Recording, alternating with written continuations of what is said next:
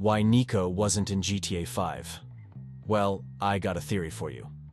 Back when GTA 5 was in development, there were numerous rumors and speculation about familiar faces making appearances.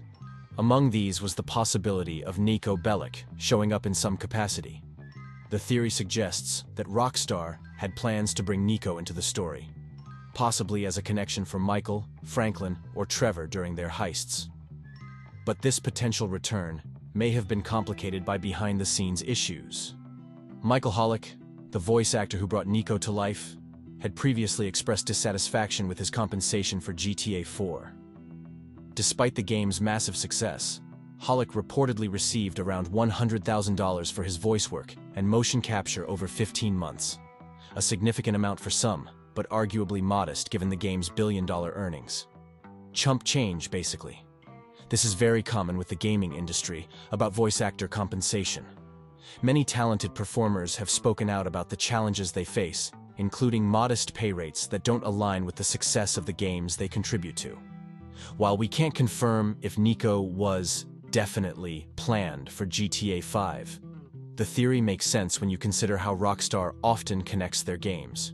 We did get references to Niko in GTA 5. Lester mentions him, and he's referenced in the Liberty City section of the in-game internet.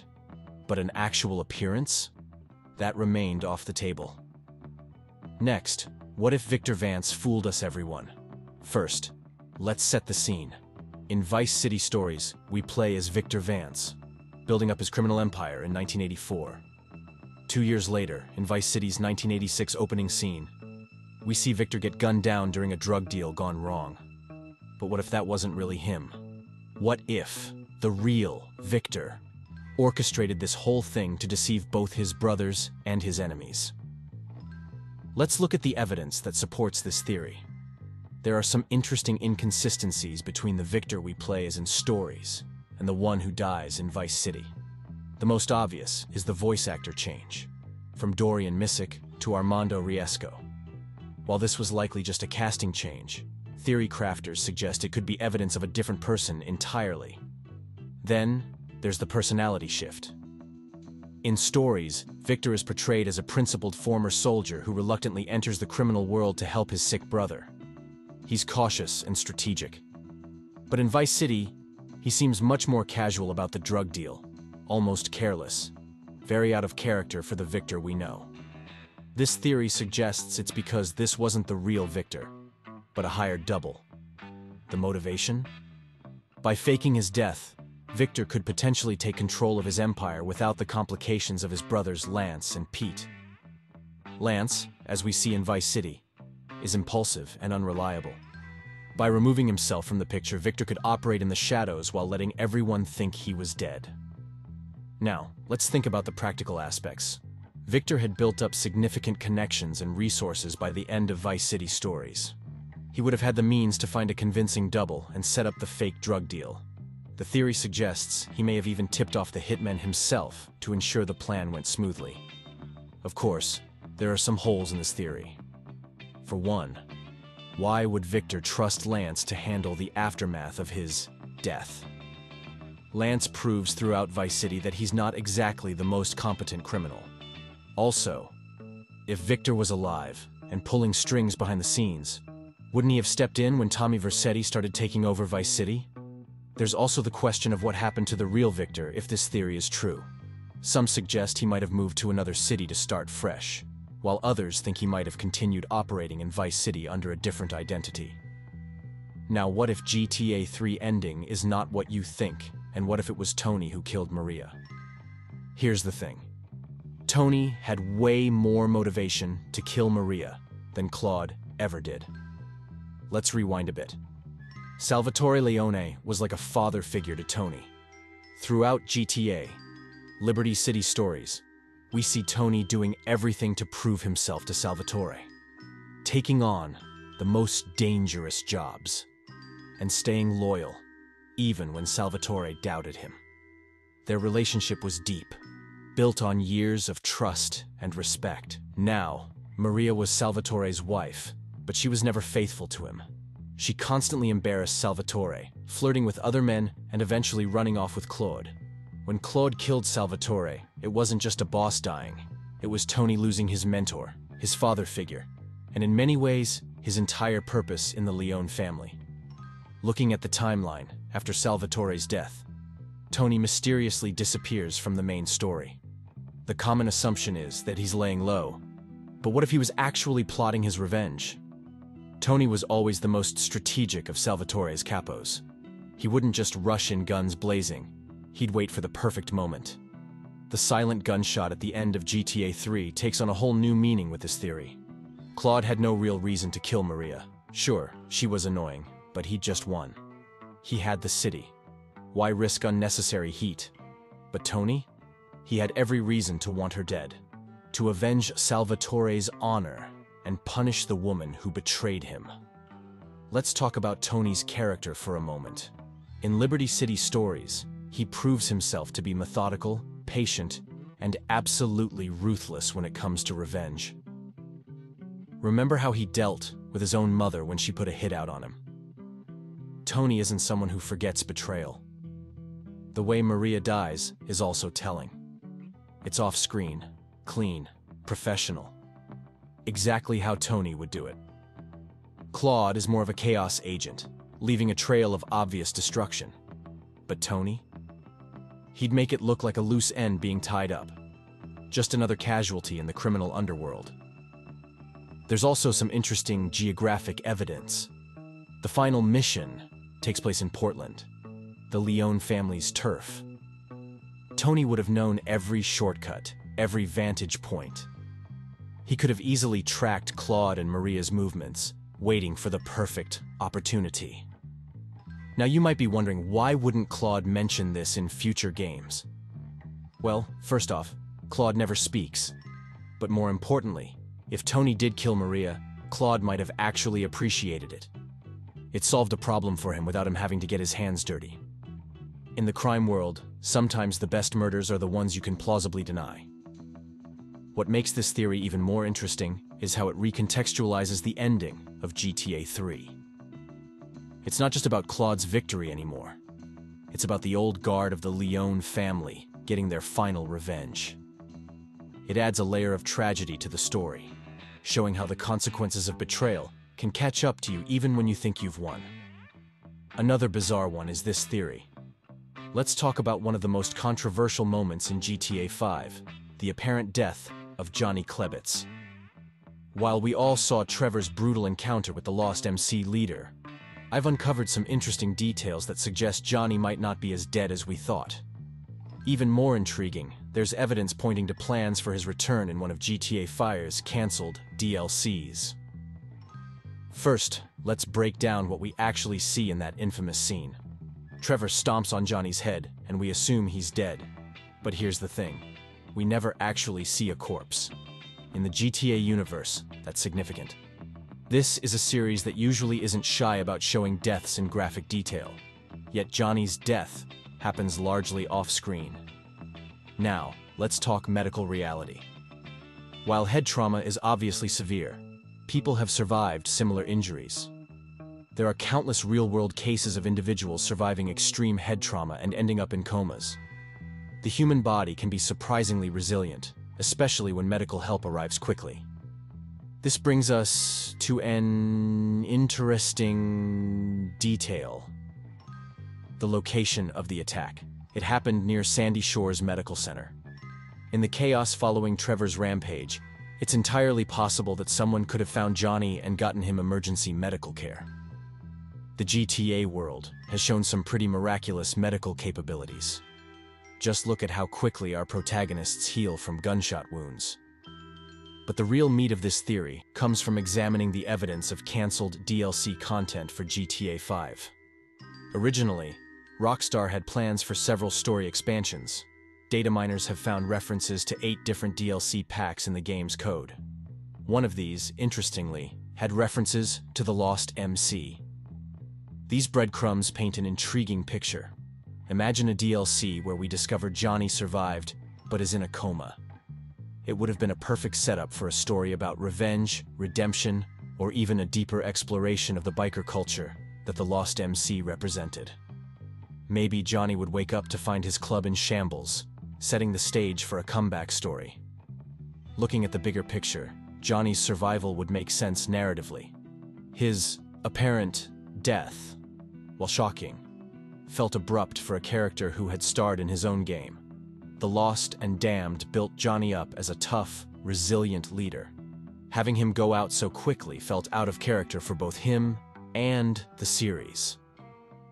There's also the matter of Ashley, Johnny's troubled girlfriend. After Johnny's death, we only hear about her own death through a news report. Could this have been misdirection? A way to tie up loose ends while the real story was meant to unfold in the DLC? When you look at GTA 5's development history, it's clear that a lot of content was cut for time. Rockstar had ambitious plans for post-launch expansions, similar to what they did with GTA 4. The cancelled DLCs represent storylines and ideas that were developed but never saw the light of day. The timing lines up too. Around when GTA 5's single-player DLCs were cancelled, Rockstar shifted focus to GTA Online. Of course, we'll probably never know for sure what was planned for these cancelled DLCs, but the evidence we do have paints a compelling picture. Johnny Klebitz, the resilient leader of the Lost, surviving against all odds, lying in a coma while the world thinks he's dead. It would have been one hell of a story. Next, Michael might have been a skinhead in Manhunt. Let's start with what we know for certain. In Grand Theft Auto 5, Michael occasionally mentions spending time in Carcer City during his youth. These aren't just throwaway lines, they're deliberately placed breadcrumbs about his past. Carcer City, as we know from Manhunt, was a cesspool of gang activity in the late 80s and early 90s, right when Michael would have been a young man. Now, look at Michael in the North Yankton prologue.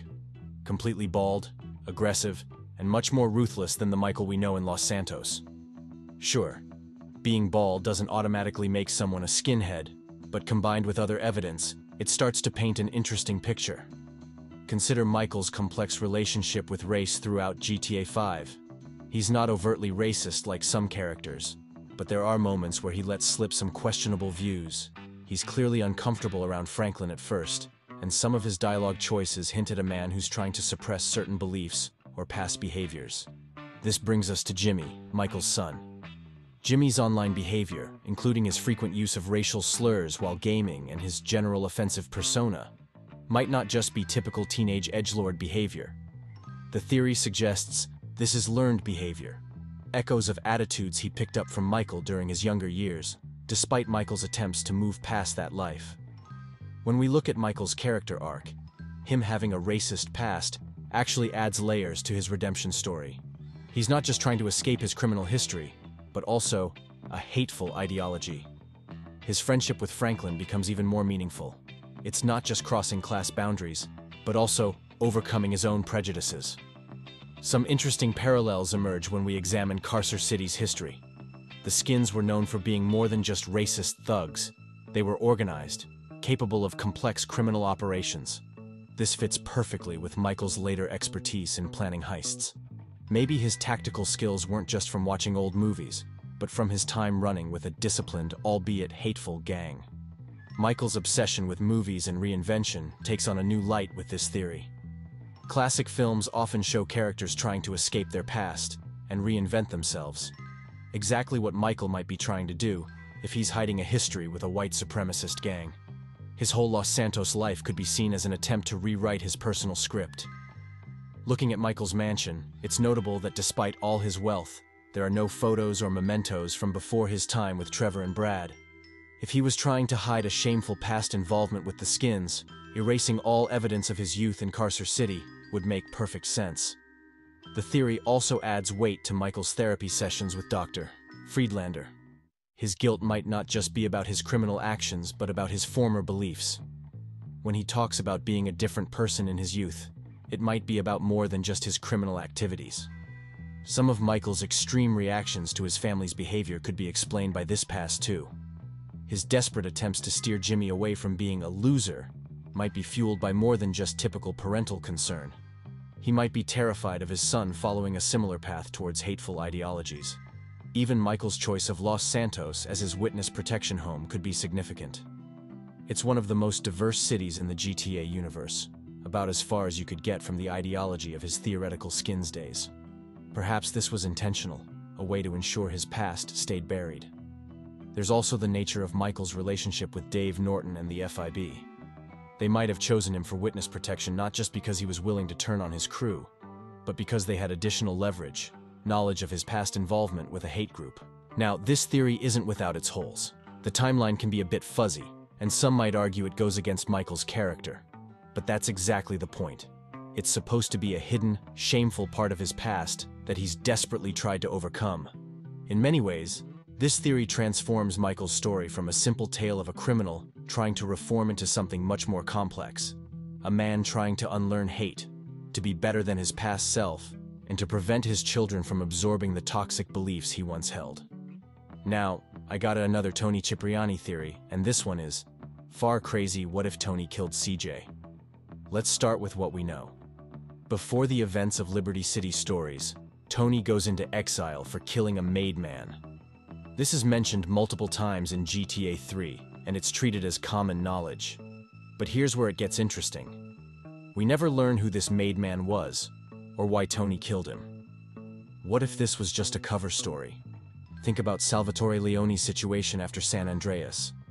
CJ had completely dismantled the Leone family's operations on the West Coast. He'd humiliated them, cost them a fortune, and worst of all, he'd gotten away with it. Anyone who knows Salvatore knows he wouldn't let this slide. But he's also smart enough to know that sending an army after CJ would be suicide. He'd need someone subtle, someone patient, someone absolutely loyal.